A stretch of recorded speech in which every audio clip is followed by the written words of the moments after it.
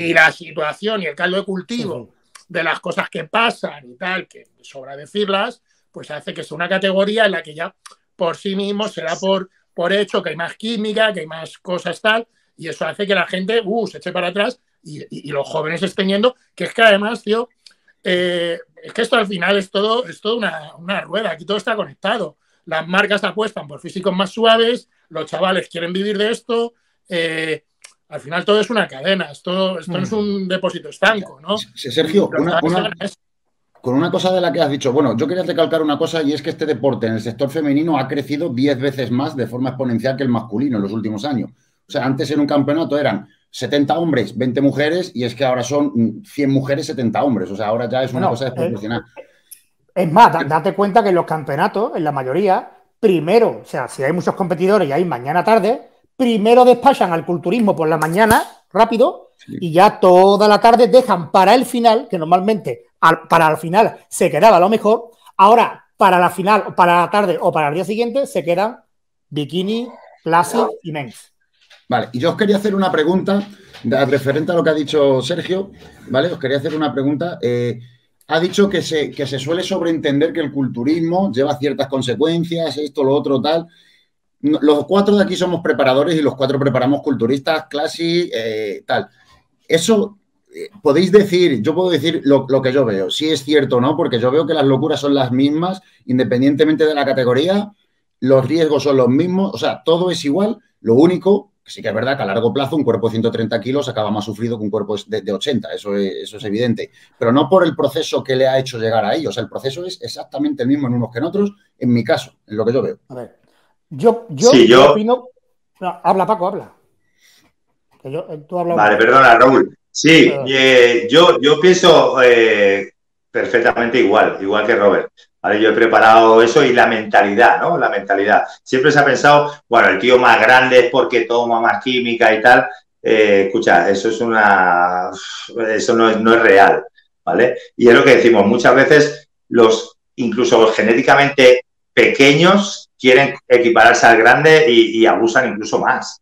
¿vale? Entonces, también va mucho en la mentalidad de la persona. ¿eh? Yo me he encontrado de todo. ¿vale? Y, yo siempre creo que mi trabajo es poner un poco eh, los pies en el suelo a la gente y decirle lo que hay y tal, ¿no? Y explicar un poquito ahí. Pero que, escúchame, que eso, que eso es una falacia total. Eh, no los preocupen o los pesos más pesados toman más que, que los, los, incluso los clásicos, ¿vale? O sea, no estoy, no estoy de acuerdo ahí en eso, totalmente. Ahí depende mucho de la persona y hay locos en todos sitios, grandes y pequeños. De hecho, siempre, eh, eh, yo por ejemplo, cuando estudié la carrera y tal, siempre se decía que en el tema del dopaje las mayores locuras no son de los que están arriba, sino de los que quieren llegar arriba, de los que se quedan en el intermedio porque lo tratan, tratan, tratan, tratan, no ven límite y al final el límite se lo pone la salud, más que la genética. Entonces, esto es algo que muchas veces la gente no tiene en cuenta, que el que quiere llegar ahí es el que hace más locuras que no que el que está ahí, porque el que está ahí, por desgracia, la lleva la genética, pero el otro lo está intentando a base de, a base de hostias, por así decirlo. Yo, yo, por ejemplo, ahí estoy contigo. Yo estoy convencido que de aquí de los cuatro, probablemente el que más ha hecho el chalao he sido yo, porque soy el que tiene peor genética. Entonces, sí, es cierto, es que es así. Normalmente, o sea, el que es grande, es grande por algo. Y si fuera una cosa de química, o sea, si a mí mañana me dicen, mira, ponte tanto, bueno, ya no, porque ya tengo otras cosas en la vida, pero si a mí hace 10 años me dicen, ponte tanto y vas a ir a la Olimpia, yo me lo hubiera puesto.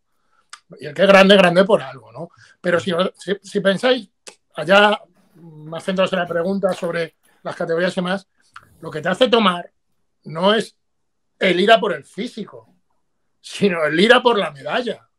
No nos engañemos. O sea, tú haces el loco en volumen, normalmente no. Entonces el loco, la, locura sean cuando ya estás ahí y dices, me juego el todo por el todo y arriesgo. Y eso se va a dar en Classic, en Men's y, en Salto de la Comba. El que quiere, el que se mete ya a la faena dice, mira, ya para lo que... Os voy a poner un ejemplo. Típica preparación, que ya te quedan tres semanas, miras la caja y te quedan productos para pa mes y medio y no para tres semanas. Y de va, total, si ya, ¿para qué? Y ya tiras con lo que hay. ¿Me explico? Los culturistas, los culturistas tenemos un error muy grande, que es en época de competición tenemos una gran, eh, una gran distorsión de la realidad y pensamos siempre que podemos salir más duros, más secos, más tal, más tal, y ya llega un momento que más, más, más no se puede, que llega a tu tope y ya está. Pero siempre tenemos el puedo más todavía, puedo más, y nunca nos conformamos y siempre tratas de ese más. Y sí que es verdad que las mayores locuras yo también las he hecho semanas previas a, que es ya cuando menos puedes hacer, porque ahí ya al fin y al cabo es enseñar lo que conseguiste antes. Pero sí es verdad que, se hace Entonces al final es una cosa de ese afán de puedo, puedo, puedo, puedo, puedo, puedo. Yo creo que es lo que te va a empujar. Y, al final, o sea, el que es grande, grande por algo, tío. No, no, la, la ecuación no es tan simple como como meto química y ya tengo ese físico. Ojalá y fuera tan simple. Hmm. Al final te das cuenta que el que es grande, pues es porque ha venido al mundo para ser grande. A ver, a, mí me lo ponéis complicado. Yo estoy de acuerdo y no estoy de acuerdo. Porque depende a dónde, a qué terreno te lo quieras llevar, te, va a salir más bonito o más feo. Estoy de acuerdo que el que no tiene genética, no tiene genética y el que la tiene, la tiene. ¿Vale? Y el que la tiene va a consumir poca química. Pero eh, si te pones a analizar cualquier físico. Ahora lo voy a llevar a otro terreno, ¿vale? Si te pones a analizar, yo por ejemplo, con nombre y apellido, los 15 o 20 últimos físicos que han dado un salto tremendo en la competición por peso y todo, si habláis con ellos, el único cambio que han hecho es que han duplicado y han triplicado la química. Eso es así. ¿Vale? Eh, por eso digo que no es que no esté quitando la razón, pero es que depende a dónde te lo quieras llevar. Eh, sin ninguna duda, Em, ahora se consume mucho más y como se consume mucho más, también eh, hay más efectos, más efectos secundarios, más efectos adversos y, más problemas. Obviamente yo me he movido en el mundo profesional, igual que, igual que Paco.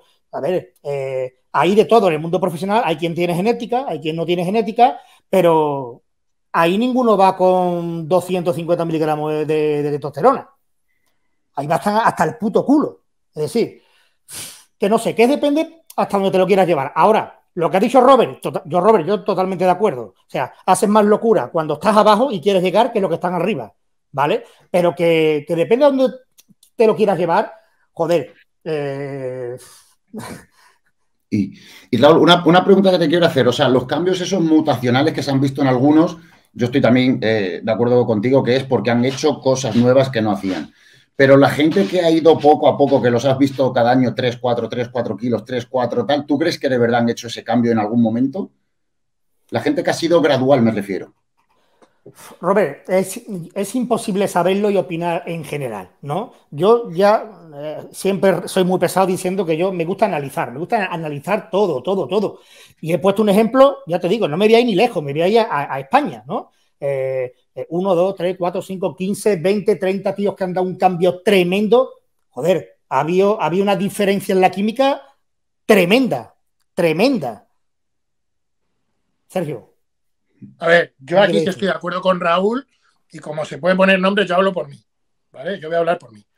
Eh, yo eh, estoy de acuerdo con Raúl, pero quizás hubiera que profundizar un poco más, ¿no? Yo con 35 años estaba compitiendo con 82 kilos. Ya, ya, ya compitiendo 15 o 16 años. Se supone que a los 35 ya tienes un físico muy hecho eh, y tal. Y a los 39 estaba compitiendo con, llegué a competir con 95. O sea, en cuatro años, con una edad ya muy hecha, eh, evidentemente subí, eh, subí muchos kilos. Y evidentemente, buena parte de eso fue porque di un ostión de química muy grande. O sea, pasé de 750 de texto y tal a irme a, gramo y medio y dosis muy altas. Muy altas, dosis muy altas de GH y demás. Eh, que, eh, que fue tan, es, tan simple eh, la ecuación de metí la química y ya. No. O sea, metí mucha más química, lo cual me permitió entrenar a un nivel mucho más alto, lo cual me permitió, como entrenaba mucho más, podía comer mucho más. Además, eh, me centré mucho más, o sea, no, no hice el efecto contrario de, bueno, como meto más química me puedo relajar. No, metí más química, entrenaba más duro, estaba más centrado, tenía un entorno mucho más favorable. Entonces, es imposible también el cuento este que nos cuentan de si los receptores, si a partir de 750 ya no te va a hacer más efecto, porque sería la única, la única sustancia en el mundo que a más dosis separar a los efectos. Es cierto que los efectos secundarios se van a disparar, pero yo hablando por mí, cuando subí y pasé de ser peso medio a llegar a competir en peso pesado, subí muchísimo la química, pero la química fue una, una, un, parapeto que me permitió entrenar mucho más, comer mucho más. Eso, Sergio, mucho más. Pero, eso está claro. Está claro que es indirecto. La química no podía haber hecho claro. Mira, está claro que es indirecto, pero eh, te hablo yo por mí también, tú que estás hablando por ti.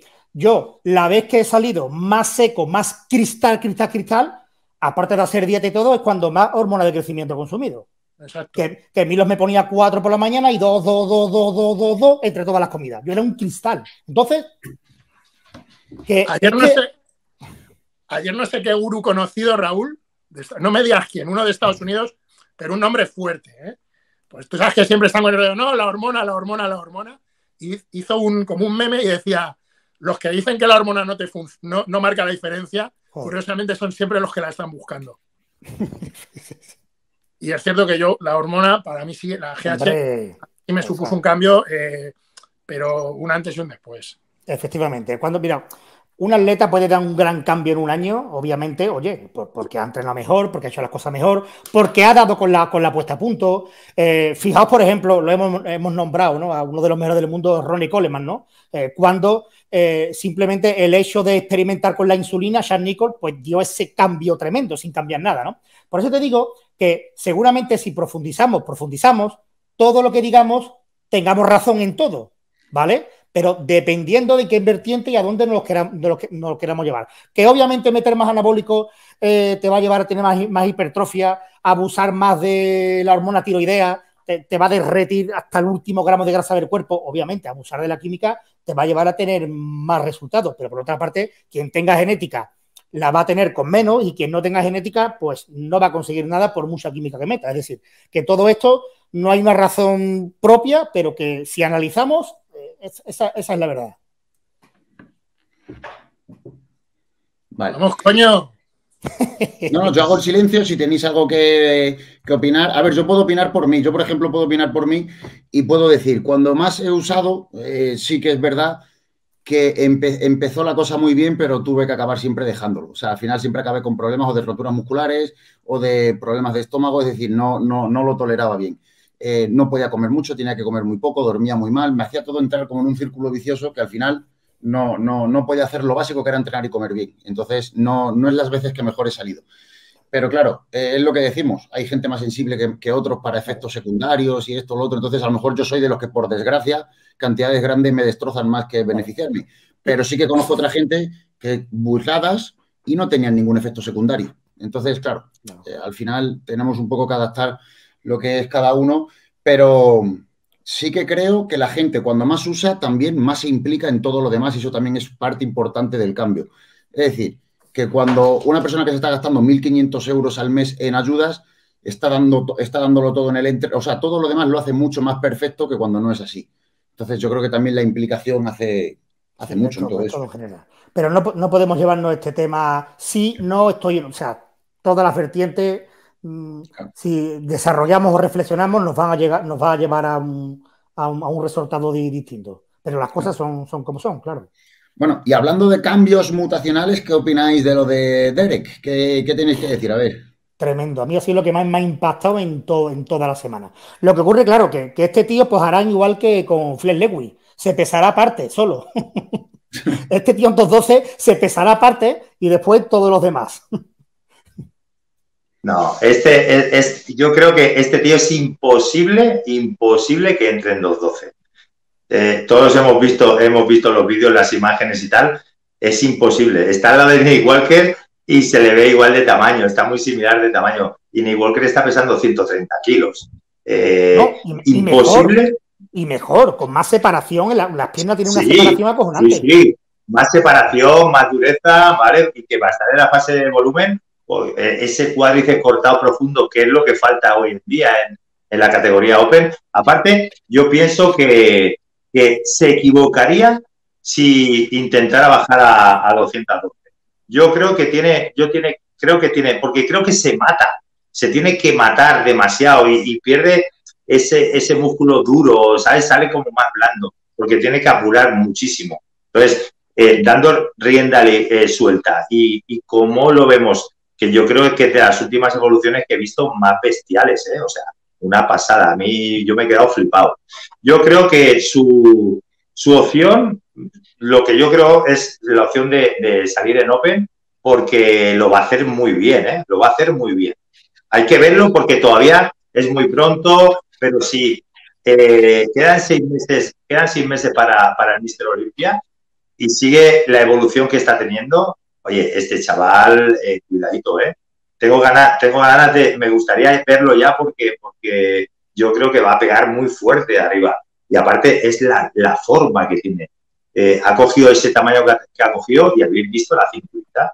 Es, exagerado esa dorsal amplia. Eh, yo creo que la opción de Derek es, es, es, open. ¿Y alguien sabe la edad que tiene Derek? Porque tiene que ser mayorcito, ¿no? No, no, no, Derek tiene 28, me parece. 28. Madre mía, madre mía. 28 años. Claro. Es que, yo creo que la edad perfecta para, esos cambios es entre los 28 y 33 años, más o menos. Hay esa franja de 5 o 6 años que es cuando. Aquí pues está Jubis de Bodybuilder. Yo creo que él, lo, que él lo sabrá la edad que tiene en concreto. Sí, 27, 28 acaba de poner. A ver, yo creo que con Derek todos los años nos ha pasado que, que Derek un mes antes siempre de Olimpia lo hemos visto espectacular, no con el nivel que tiene ahora, y luego en el Olimpia nos ha dejado un poco fríos. Y yo creo que es que su peso en competición no era de 96, que es el 212, y su peso en competición óptimo debería de rondar los 100 kilos. Ahora han puesto por aquí y andan por 250 o 260 libras y con la calidad que tiene, yo creo que meterse en 212 sería, sería un disparate. Está bien, estamos viéndole comparando con Walker, que se supone que ese el culmen ahora mismo de lo en cuanto a tamaño muscular, quitando a Rami obviamente, en la categoría Open y por comparación se le ve igual de masivo, con mejores piernas y encima con mucha mejor forma. Eh, la duda va a ser si se va a llegar a meterse a 212 eh, como, como campeón o si es capaz de meterse a Open, que yo creo que ahora mismo en Open, conforme está entre los cuatro primeros, se mete seguro. O sea, se mete seguro si pule bien ese tamaño. Y, oye, ¿por qué no aguantar? Eh, porque es que también salió con Brandon Curry, que Brandon Curry de verlo. Y con mi amigo, y con mi amigo Hunter. Y, hostia, ahí tenía nada menos que a dos top 4 del Olimpia. De este año, sabemos que Curry fuera de temporada es un desastre, pero Hunter era un niño pequeño al lado de Derek. Y entonces, mm, hostia, si es capaz de meterse a aguantar dos o tres añitos en el Olimpia, ¿por qué no aspirar al Open? También decir eh, que Rami eh, tenía que posar como invitado también con ellos y a última hora no apareció en el campeonato. Sí, eso, eso he escuchado yo. Como chisme y tal, he escuchado que, como el, campeonato lo organizaba Jim Manion y tal, siempre se trae. Y había traído también a, a Rami para posar todos juntos y tal y se ve, no me digas por qué, porque ya te digo, hay rumores de tal y eso, pero que, que, que no salió, no salió al final. No sé, me han dicho, por lo que me han dicho y tal, eh, eh, bueno, en una esto, una web de mi amigo Taka, que es friki de esto y tal, que estaba allí, pero que decidió no salir. No sé si es cierto. No pero, pero me han dicho que no. Curioso. De todas maneras, sobre, sobre Dare, Recordad que Flex Lewis, yo no sé si, no recuerdo si sacaba tanto peso de diferencia respecto a las 212, pero Flex Lewis igualmente las pasaba putas para dar el peso. ¿Vale? O sea, Flex Lewis también Lewis no daba el peso fácil, lo pasaba mal, mal, mal. Yo he llegado a ver a Flex Lewis eh, en el Olimpia verdaderamente preocupado, verdaderamente preocupado, porque el tío lo pasaba muy, muy mal. De hecho, Raúl, ¿tú crees que siempre llegó a dar el peso? Yo creo que lo he contado en alguna entrevista. El, último, el último año que yo competí, que también fue el Mister Olimpia, eh, bueno, eh, otras veces, yo creo que el último año, ese que estaba realmente preocupado, muy preocupado, eh, que entonces cuando en el Olimpia nos ponían en una zona, en una zona VIP, ¿no? Ya después no. y, Flex salía, entraba con, sudando, yo no sé lo que estaría haciendo por ahí. Ese, año había un protocolo de pesaje y lo cambiaron. De repente lo cambiaron, ¿vale? Eh, y dijeron, no, no, no. eh, nos vamos a pesar de uno en uno eh, y saliendo al escenario. Es decir, Bob era el único que podía ver el peso, ¿vale? Y todos los competidores se van a quedar detrás del escenario, sentados de espalda al escenario, ¿no? Como si, como si fuésemos a, verlo, ¿no? Entonces, eso fue muy extraño, ¿no? Muy extraño y todos dijimos de que eso, ese movimiento son muy extraños. Y ya digo, ese año Fleck Lewis, que era el último año, eh, estaba realmente preocupado porque no daba el peso. Él y su preparador, Neil. A mí es que me cuesta creer que lo haya dado siempre, ¿eh? porque, porque a poco del Olimpia estaba con pesos muy por encima de lo que tenía que dar. Así que no, sé, no sé yo si ahí no habrá. Que bueno, que también hay que entender que muchas veces da un cierto margen en los pesajes, por las básculas, por esto, lo otro. Bueno, siempre hay. De hecho, yo una vez en un campeonato bastante importante internacional, pasándome dos kilos y medio, me dejaron meterme en la categoría de abajo. Así que bueno, estas cosas a veces, a veces pasan. Em, Hombre, te colaron en un campeonato de España uno que no era de 100 y te lo metieron. Coño, la categoría de más de 100, ¿no? Ya ves, uno que pesaría 94 o 95 kilos, una cosa así. Lo metieron y ganó encima, ya era, casualidad, era casualidad. Pero no vamos a hablar de eso. Eso pasa mucho en Andalucía. Eso pasa mucho en Andalucía, que de hecho es donde... Los andaluces somos así. Los andaluces que soy así, cabrones. qué memoria tienes, macho, fíjate, ¿eh? Qué memoria, ¿eh? Tú en ese campeonato tú no estuviste compitiendo. Sí, lo que pasa es que me ganó hasta la del ropero.